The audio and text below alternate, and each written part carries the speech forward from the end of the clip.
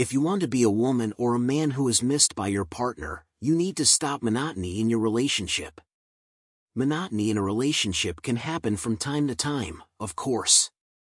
But no one wants to stay in a relationship that has lost its excitement and has become monotonous and boring. Small excitements and changes in the relationship keep the relationship alive. These changes can be spending some time apart or, for those who spend a lot of time apart, signing up for a sport or dance together.